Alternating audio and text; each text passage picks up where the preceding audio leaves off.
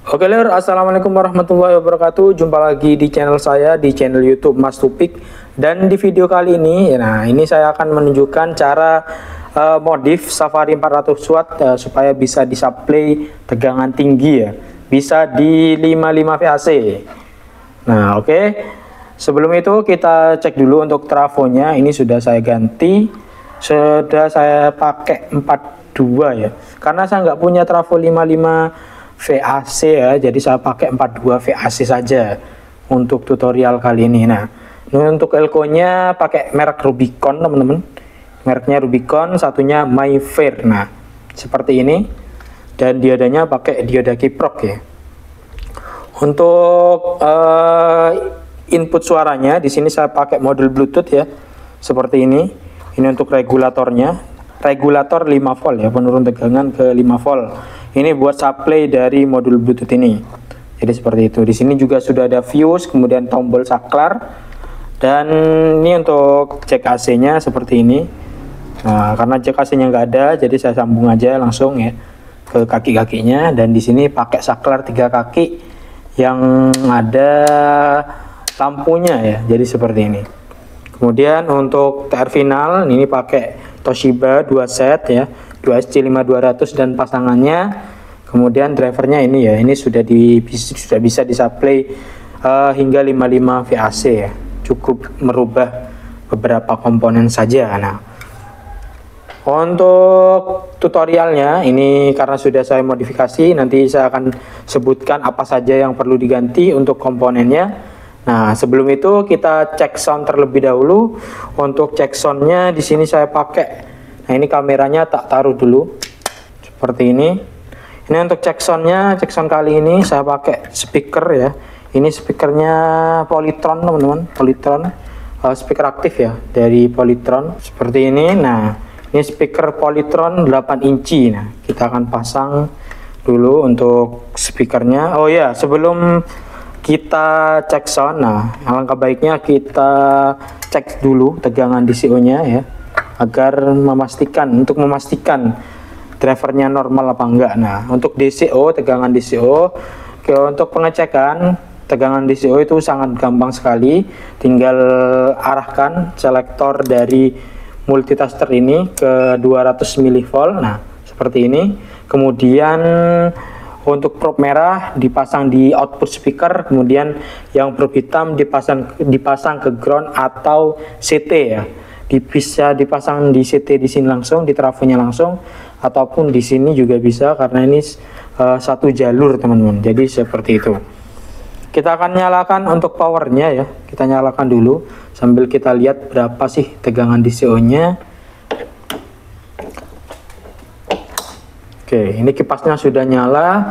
Dan di sini untuk DCO nya nah, untuk tegangan DCO nya 25 ya sekitar 20-an 25 milivolt nah ini sudah bagus sekali untuk DCO nya uh, sebenarnya kalau pengen uh, lebih kecil nah untuk tegangan DCO nya ingin lebih kecil teman-teman bisa menambahkan potensiometer ya seperti ini. Ini ada potensio.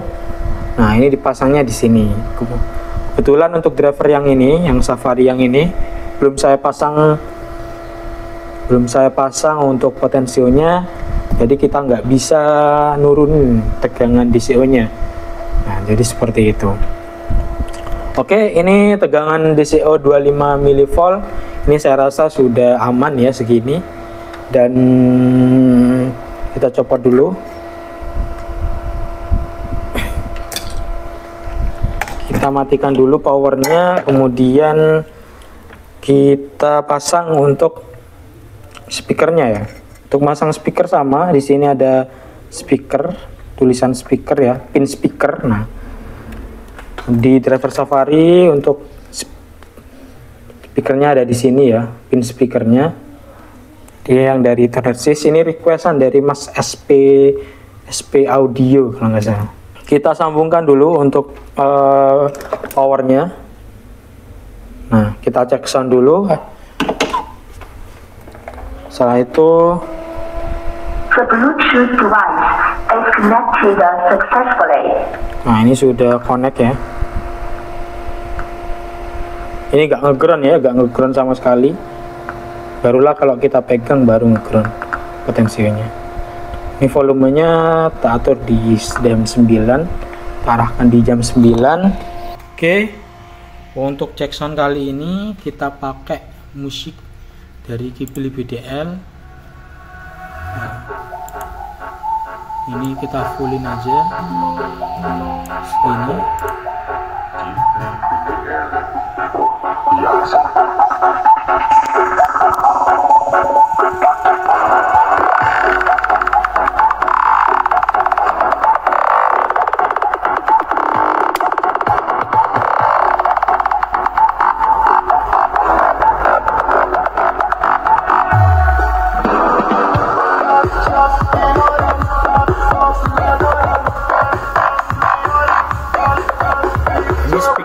dari Polytron seperti ini untuk detail speakernya.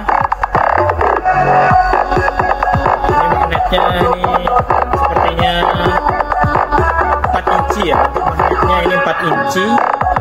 Besar ya. Voice coilnya mungkin satu inci setengah ya kalau nggak dua inci. Satu inci setengah untuk voice coilnya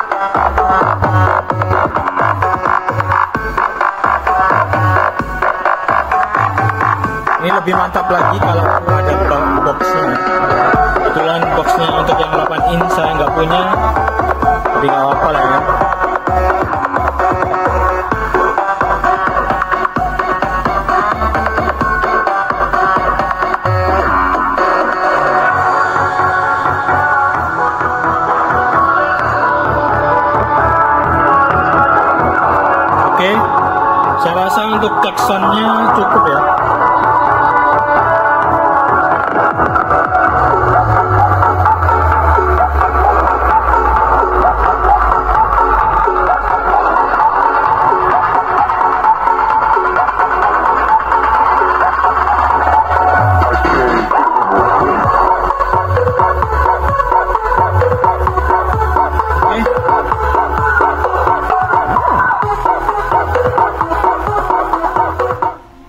Oke lor, nah ini jadi untuk yang perlu diganti komponen yang perlu diganti itu sangat dikit banget ya. Kebetulan untuk driver Safari produk dari Tunersys ini untuk tire drivernya ini sudah menggunakan TIP 41 sama maupun TIP 42 ya.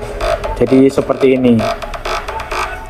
Kemudian untuk tire fastnya ini sudah menggunakan TIP 41 seperti ini ya kelihatan ya TP 42 ini TP 41 nah jika driver teman-teman masih menggunakan TIP 32 31 dan 32 itu ganti saja ya ke TIP 41 ataupun transistor C4198 nah kayak di driver ini ya bentar ya tak ambilin.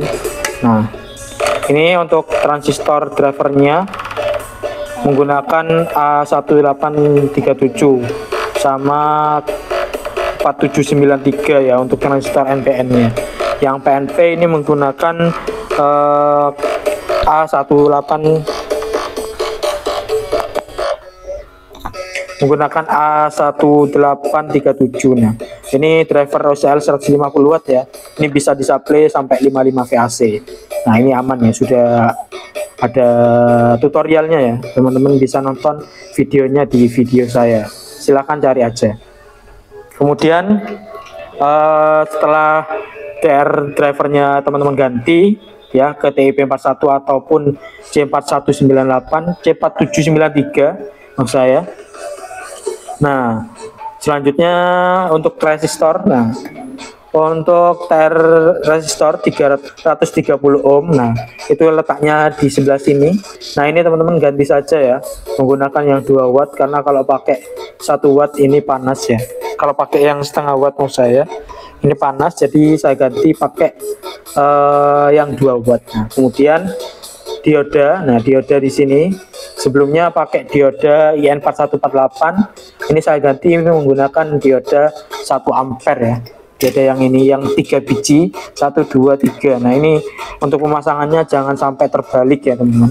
Ini teman-teman ganti pakai dioda 1 ampere nilainya IN 4002 ataupun IN 4007 ya IN 1N 4007 nah ini ganti saja ya pakai yang ini. Kemudian kapasitor nah ini kapasitor bootstrap di sini. Ini saya nggak ganti ya ini nggak diganti tetap 50 volt 100 mikro 50 volt ini nggak saya ganti karena ini nggak pengaruh. Nah ini cuman uh, bukan gain booster mas saya. Mau saya rangkaian resonansi. Ini rangkaian resonansi untuk mengubah karakter suara di sini. Ini enggak saya ganti ya.